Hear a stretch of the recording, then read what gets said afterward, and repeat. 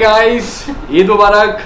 ईद मुबारक आप सबको। अस्सलाम नमस्कार कैसे हैं आप सब? आई होप आप सब ठीक होंगे और हम हाजिर हैं आपके सामने फिर से काफ़ी दिनों के बाद ईद के व्लॉग के साथ। यस गए पाँच छः दिन जहाँ पे व्लॉग नहीं बनाया। एक्चुअली कभी कभी होता है कि इंसान का मन कुछ नहीं करता है। चीज़ें कुछ ऐसी थी। uh, क्या बोलूँ बस नहीं था नहीं मन कर रहा था कि मैं कैमरा उठाऊँ। शायद वो अंदर से वो एनर्जी गेन नहीं कर पा रहा था या वो मूड लाइट नहीं हो रहा था, जो भी है, क्योंकि पहले रिहान की तबीयत ख़राब हुई थी, फिर रिज़ा को फीवर आ गया, फिर अम्मी को फीवर आ गया, और आज के दिन सुबह सुबह अम्मा को थोड़ा पैर में स्वेलिंग हो गई थी तो उनके पैर जो है वो दर्द हो रहे थे। तो ये सारी चीज़ें जब होती हैं तो आपका मन नहीं करता कि आप कैमरा उठा के ब्लॉगिंग करो। तो आज फ्रेंकली बोलूँ, आज मैं ब्लॉग नहीं बनाने वाला था। आप देखो रात में कितने, नौ बज रहे हैं एट फोर्टी वन हो गया है। अब जाके मैंने ब्लॉग शुरू किया है, जब फिर मुझे ध्यान आया कि नहीं यार, आप सब लोग वेट करते हैं कि ईद का ब्लॉग नॉर्मली ब्लॉग की भी वेट करते हैं, फिर ईद का है तो मैंने सोचा कि चलो कुछ ना कुछ है, भले वो पाँच मिनट का ब्लॉग क्यों ना हो, आप सबको मैं दिखा दूँ कि आज हम लोगों ने क्या पहना है, हम कैसे बैठे तो बस, और ईद उल सबको बहुत बहुत मुबारक, अल्लाह आप सबकी कुर्बानी कबूल फरमाए। बहुत से लोग पूछ रहे थे कि अशोक भाई आपने कुर्बानी नहीं की तो भाई यहाँ पे हम जहाँ रहते हैं, फ्लैट सिस्टम है आपको पता है, यहाँ पे होता है तो इतना ईजीली चीज़ें नहीं हो पाती हैं। तो हमारी जो कुर्बानी है, वो बच्चा मामू जो आए थे फैब में आपने देखा होगा तो उनके घर हमने उनको बकरा वहाँ पे उन्होंने ख़रीद लिया था और वहाँ पे अल्लाह करम से अच्छे से चीज़ें सारी हो गई हैं। तो बस अभी हम लोग भी रेडी हैं अभी कुछ फ़ोटो वगैरह क्लिक करेंगे और घर वालों का वेट करेंगे बस अभी वो आते होंगे।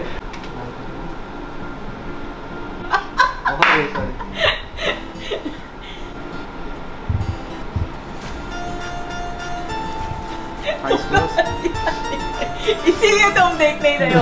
सच बताओ ना ये बेटर नहीं लग रहा है? At least there is an interaction ये देखो लिपस्टिक ये अच्छी है।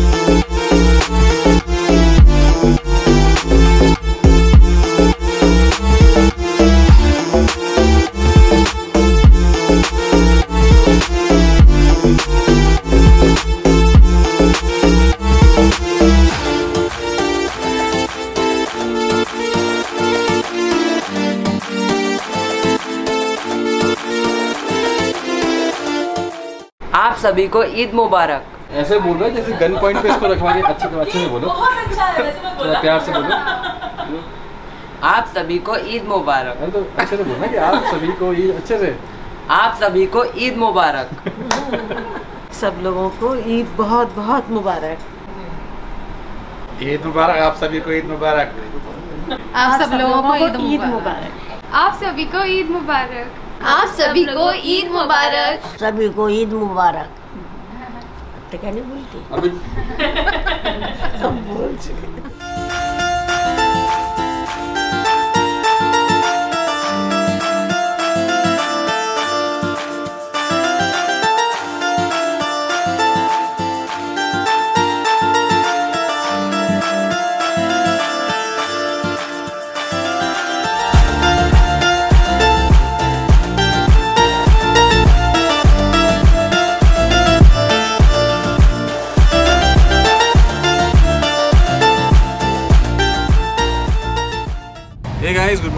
एक्चुअली गुड आफ्टरनून इससे पहले जो आपने देखा वो था ईद का एक छोटा सा वीडियो एक छोटी सी कोशिश आप सबको दिखाने की कि हम कैसे लग रहे थे सब। और अभी हम जा रहे हैं दिल्ली।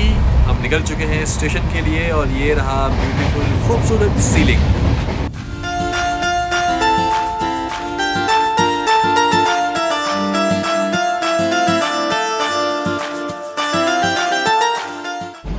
क्या है? बकलावा।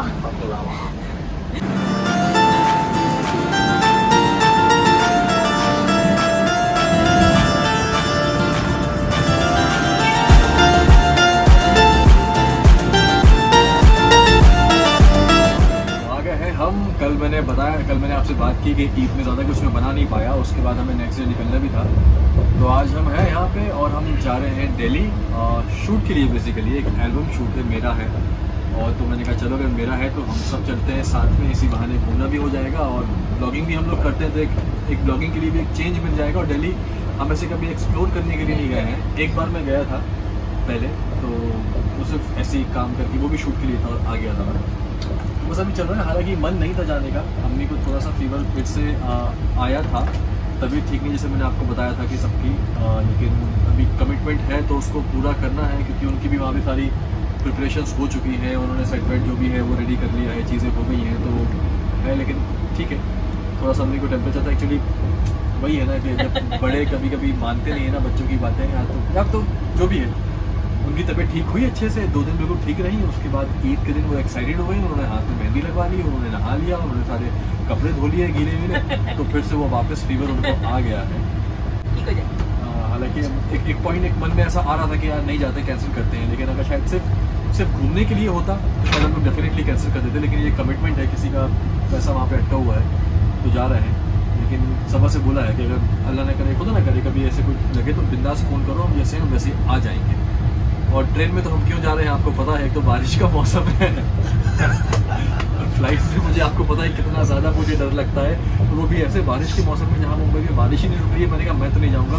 हम चलेंगे ट्रेन से और तीन चार लोग हैं जो भी कहो ट्रेन का मज़ा ट्रेन का मज़ा ही है। मतलब फ़्लाइट ऐसा लगता है कि आप एक जर्नी काम के लिए करनी है इसीलिए आप कर रहे हो। असली जर्नी का मज़ा तो ट्रेन में जब याद है वो पहले बसेस में ट्रैवल करते थे? करते वो ट्रक्स के हॉर्न फिर वो दो तीन बजे फिक्स ढाबे होते थे। तो उन सब चीज़ों का मज़ा ही कुछ और है। तो I am very happy that इसी बहाने शादी के बाद शादी के तीन साल के बाद हम लोग ट्रेन में बैठे हैं। लास्ट शादी में बैठे थे। उसके बाद ऐसे ट्रेन में बैठ रहे हैं। यस इस ट्रिप में अम्मी लोग नहीं है सब लोग नहीं है पापा लोग नहीं है। तो ये- स्पेशली ट्रेन में वो लोग नहीं है तो और बहुत ज़्यादा मिस करेंगे। बहुत अच्छा लगता है ट्रेन में। तो बस देखते हैं कैसे गुजरता है ये सफ़र यहाँ से दिल्ली तक का। क्या नाम है तुम्हारा? आँसू सिंह। हाँ? आँसू सिंह? आशु सिंह होगी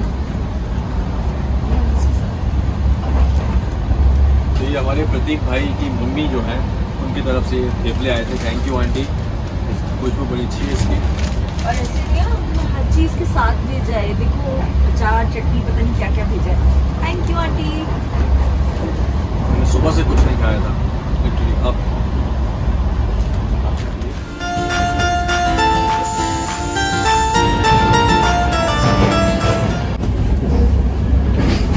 थक चुकी है बहुत ज़्यादा। थकान हो गई है। और हम लोग भी एक्चुअली थक गए हैं। भूख लग रही है बहुत ज़्यादा भी खाने का। ट्रेन के झूले से बहुत नींद आ रही है। खाने का ऑर्डर हमने दिया है एक्चुअली ऐसा होता है नॉर्मली कि आप जब ट्रैवल करते हो स्पेशली ट्रेन में तो आपको बहुत ज़्यादा ट्रेन क्या? आप कार में भी अगर ट्रैवल करते हो ऐसे लॉन्ग जर्नी जर्नी तो आपको भूख लगती है। वो माइंड सेट ही कैसा होता है कि ट्रैवल है तो मतलब भूख लग रही है। यहाँ तो अच्छा हुआ कि एक्चुअली हम लोग अभी तो जब हम ट्रेन में चले तो शोर को बहुत भूख लग रही थी। देखो, जब तक मैं बात नहीं करती ना, तब तक कुछ काम नहीं होता ढंग से, ठीक है? तो जब हम ट्रेन में चले तो शोर को बहुत भूख लगी थी, बहुत ज़्यादा भूख लगी थी। तो ऐसे मेरे को इसे बड़ा सा क्यों दिखा रहे हो? हाँ फिर ये ठीक है। हाँ तो दक्षा आंटी ने ठेपले भेजे थे तो हमने वो खोल के खा लिए थोड़े थोड़े पर इन जनाब को कुछ ऐसे खाना था क्योंकि सुबह से कुछ खाया नहीं। तो ये दोनों पहुँच गए अंकित और ये पहुँच गए पैंट्री वहाँ पे जाके पता चला माल नहीं है। खाली स्टाफ ऐसे एक एक दो स्टाफ ऐसे खड़ा था, कहते, सर, अभी कुछ नहीं है। वापस जाओ तो ये लोग बड़े स्ट्रेस में आ गए थे। इत्तेफाक से थाने में ट्रेन नहीं रुकने वाली थी, लेकिन थाने में ट्रेन रुकी। और वहाँ पे हमारा, हमारी जो सीट है, वो दरवाजे के एकदम बगल में। तो वो केटरिंग वाले यहाँ खड़े थे और वो ऐसे ऐसे करके बोले खोलो खोलो। ये दोनों तो जो actually- भागे हैं खोलने के लिए और अब जब वो भैया सर्व करने आए थे तो ये दोनों एहसान जता रहे हमको थैंक यू बोलना चाहिए ना पूरी ट्रेन को खाना नहीं मिलता। एक्चुअली क्या है कि वो भी राजधानी एक्सप्रेस से ही जा रही है दिल्ली वो दिल्ली से वापस आ रही थी तो उसी के वर्कर थे जो पैंट्री में काम करते हैं बेसिकली तो वही वो उसी गाड़ी से बिना जाए हुए यहीं पे ट्रांसफ़र होते खोलो खोलो खोलो खोलो खोलो हमने खोल दिया भाई ठीक है। तो कुछ ना कुछ खाने को मिल गया चाय भाई तो मिल गया अभी खाना आएगा शाम को अच्छा सा। और देखो तो मेरी खुशी क्या थी वो जो आप मेरे ब्लॉग में देख रहे हो कि वो एक शॉट मेरा कैप्चर हो गया। खाना आया खाना आया। बस और यहाँ पे ये भी बैठे हुए हैं। ये देखो प्रतीक भाई कहाँ घूम रहे हैं? आगे। प्रतीक आगे बैठा हुआ है प्रतीक आगे घूम हाँ? शावर लेने शावर लेने गया? Really? शावर लेने गया हाँ। शावर लेने गया? मैं मैं फ़र्स्ट टाइम यू नो मैं फ़र्स्ट टाइम ट्रैवल कर रहा हूँ राजधानी से लेकिन मुझे अल्लाह का शुक्र है कि यहाँ तक पहुँचे इतना हुआ कि यहाँ मुझे अच्छे से ज़्यादा भोपाल में हम लोग रहते थे ना और मौदहा जाते थे तो कभी भी राजधानी या शताब्दी एक्सप्रेस आज से मैं पंद्रह सोलह साल पहले की बात कर रहा हूँ जब निकलती थी ना तो लगता था कि अरे यार ये कौन सी ट्रेन होगी हाँ, कैसी हाँ। कैसी होगी अच्छी ट्रेन होगी बड़ी अच्छी ट्रेन होगी तो आज हम उसमें मैं राजधानी में फ़र्स्ट टाइम ट्रैवल कर रहा हूँ हम भी जब भी छुट्टी वगैरह के लिए ट्रैवल करते थे तो वो नॉर्मल पहले तो एसी में भी नहीं तब तो एसी में भी ट्रैवल करना लगता था और बहुत। एसी में तो वो जब हम शिफ्ट करते तो वो नहीं वो खिड़की में ऐसे तीन तीन रेलिंग होती थी। बारिश आ रही होती तो उससे पानी आता था। तो और मुझे बड़ा बुरा लगता था जब बारिश की वजह से वो बंद कर देते थे तो।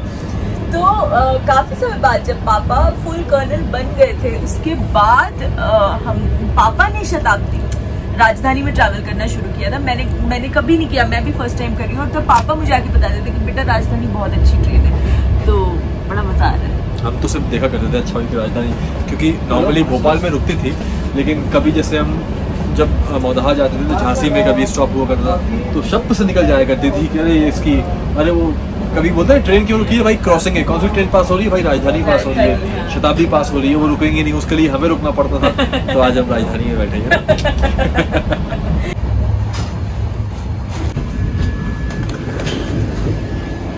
देख लो आसपास में कि छः सात बोतल अगर मिल जाए तो बिस्लरी की। ट्राई कर लो भाई आपके हाथ में ही है हमारा पानी। एग्जैक्टली exactly कौन सा भी ब्रांड बोला आपने ऑक्सी वाला? बिस्लरी है क्या? अरे एक्वाफीना एक्वा फिना है। वो एक्वा है खाली शायद। पता नहीं। छोड़ो आप पानी छोड़ो आप वाटर ले आओ खाली भाई। हाँ ठीक है पानी हम ले लेंगे नहीं मिला? वो एक्वा या ऑक्सीजन पता नहीं कौन सा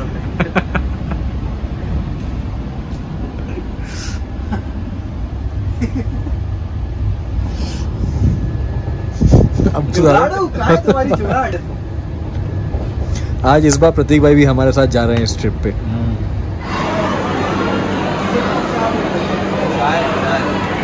चाहिए यहाँ पूछना चाहे क्या?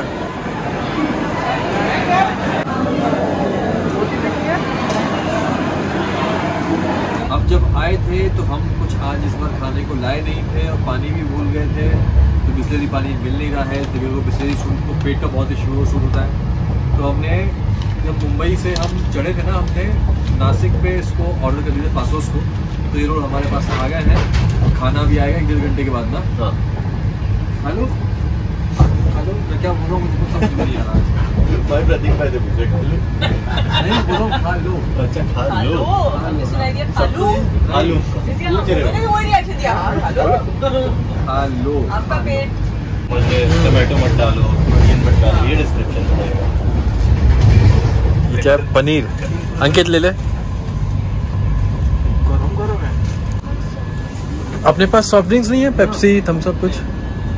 क्यों ऐसा इस बार राजधानी में? हम लोगों ने गाड़ी रेस्ट में पकड़ा थी थाने में पकड़ा। वो गाड़ी राजधानी से है ना तो राजधानी लेट था। हाँ। अच्छा ये फिर प्रिपेयर करते होंगे। अच्छा मुझे एक चीज़ बता अगर रात में मैं मुझे भूख लगती है तो मुझे क्या मिलेगा फिर? कुछ मिलेगा? यही आइटम मिलेगा। पर है ना एक्स्ट्रा हाँ बस ठीक है। क्या ये? ये है दाल तड़का और दाल तड़का ही हाँ? और राइस तड़का नहीं लग रही तड़का की बात है। मुझे वैसे आज तक दाल तड़का और दाल फ्राई में ज़्यादा समझ फ़र्क नहीं आया। फ़र्क समझ नहीं आया। तड़का नॉर्मल चाय होती है फ्राई पूरा और रेडनेस वाली होती है। नहीं उल्टा होता है। तड़के में वो लोग वो बड़ा सा तेल डालते हैं, जीरा। जो भी है बड़ा ये तड़का। चावल है। मिर्च डालते हैं हाँ। और फिर वो हैं सिंपल दाल चावल है और मैं बहुत हैप्पी हूँ और इन लोगों ने अभी दबा के रोल खा लिया है। मैं सब्र वाली मैं रुकी थी बोली वो भैया बोल के गए थे साढ़े सात बजे खाना आ जाएगा। तो मैं रुकी थी। अब मैं रोटी और चिकन समझ के अपना रोल खाऊँगी और उसके साथ मैं फिनिशिंग के लिए दाल चावल।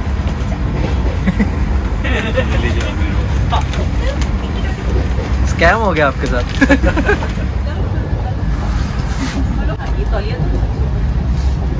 क्या क्या लाई और एक छोटा हैंड टॉवल भी होगा पिंक कलर का पिंक कलर का पिंक कलर का पिंक कलर का हाँ, बस बंद करो वापस डाल दो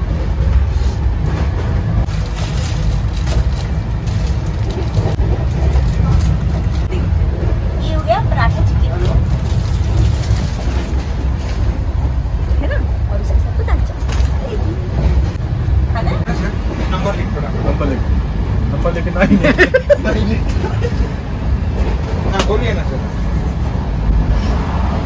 एट सेवन हाँ सर बोलो ना एट हाँ हाँ वो कोई प्रॉब्लम फाइनली प्रतीक भाई ने पानी का जो है बिस्लरी एक्वा पीना बिस्लरी एक्वा एक्वा का साइड हो। जा भाई का इंतज़ाम कर दिया है। दे दो थैंक यू भाई। हम बड़े शिद्दत के साथ ही लगे हुए थे आधे घंटे से कि। पहली बार ऐसा कोई काम है जो अंकित नहीं कर पाए तो मैं उसे पूरा करूँगा और करके करके जिसको फ़ोन कर रहे हैं उससे पूछ रहे जलगांव कितने बजे आएगा ऐसा हाँ। मिल गया ना पानी? हाँ हाँ। भेज रहे हो। इसकी डाइट को नहीं मिल रही पेप्सी पेप्सी मिलेगी। चलेगा पेप्सी चलेगा। चलेगा। ये पीना वैसा क्यों खर्चा कर रहे हो? चलेगा वो भी पीनी है मेरे को। आगे तुम्हारे साथ में जाना हाँ सर।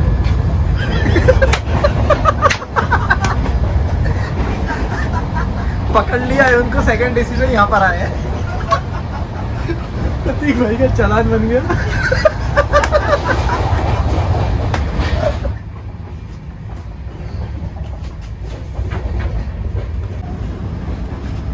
तो अभी आ है मैडम ले लेंगे यहाँ पे खाना वाना खा चुके हैं दाल चावल चिकन पराठा क्या? ब्लैंकेट ब्लैंकेट मोटा वाला पतला वाला? हाँ? हाँ? मोटा वाला।